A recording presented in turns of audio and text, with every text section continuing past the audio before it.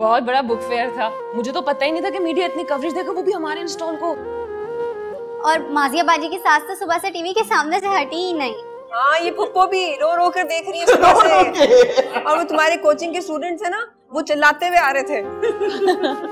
अभी तो दो दिन और हैं। अच्छा तुम फिर आओगी टीवी पर? अम्मी तो इत्तेफाक से वरना कोई इतना बड़ा कारनामा थोड़ी ना अंजाम दिया मैंने। अरे लो क्यों नहीं? इतना बड़ा कारनामा तो है। कारनामा और क्या होता है भाई? वो तो मैं अंजाम दूँगी। आप देखिएगा। तो